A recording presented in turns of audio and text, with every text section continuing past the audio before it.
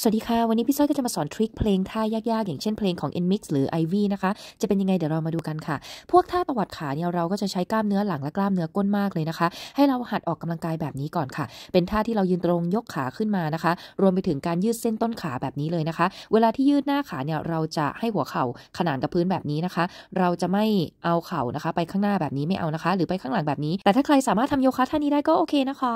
ท่าต่อไปสำคัญมากเลยค่ะ พี่ส้อยจะขอเรียกว่าท่าแคทคาวนะคะ ซึ่งนำมาจากการโยคะนั่นเองค่ะ ช่วยในการที่ทำให้ทุกคนเนี่ยหมุนตรงรอบก้นสะโพกเอวแล้วก็ขาได้อย่างดีนะคะแล้วเราก็ชันเข่าแบบนี้แหละค่ะ ปลายเท้าจะขึ้นหรือจะกระดกหรือจะยังไงก็ได้นะคะ สิ่งที่สำคัญที่สุดเราจะมาฝึกกล้ามเนื้อหน้าท้องกล้ามเนื้อกล้ามก้นแล้วก็กล้ามเนื้อขานะคะ จะเป็นแบบนี้แหละค่ะยกไปแล้วก็ตวัดไปมานะคะ สิ่งที่สำคัญที่สุดเกรงหน้าท้องเกรงหลังดีๆนะคะ เดี๋ยวหลังเดาะนะคะ เวลาที่เราพลิกเท้าไปมาแบบนี้นะคะ เพื่อเป็นการบริหารในช่วงของเอว หน้าท้อง แล้วก็ช่วงกระดูกด้านหลังนะคะ เพื่อที่จะทำให้กระดูกตรงด้านหลังของเราแข็งแรงนะคะ อีกท่าหนึ่งก็คือยืดขาแบบนี้ค่ะ แล้วก็พลิกไปพลิกมานะคะสำคัญที่สุดเลยก็คือข้างบนนะคะ พยายามอย่าเคลื่อนค่ะ บริหารในส่วนของหน้าท้องกล้ามเนื้อด้านล่างนะคะ พอหลังจากนั้นให้เราพลิกแบบนี้ค่ะ ซึ่งมันจะเป็นท่าที่ NMIX Ivy ชอบทำกันนะคะสำคัญมากเลยค่ะในรายละเอียดของเพลง OO NMIX นะคะเพลงนี้เนี่ยเราจะไม่ใช้น้ำหนักก้นในการที่ลงพื้นนะคะ เราจะใช้ปลายเท้าในการช่วย support แล้วค่อยลงก้นนะคะ ไม่งั้นเดี๋ยวหลังกับก้นจะเดาะเอาง่ายๆนะคะ ซึ่งตรงนี้เนี่ยสำคัญที่สุดเลยนั่นก็คือเป็นการพลิกตรงช่วงสะโพกก้นและเอวแบบนี้นะคะ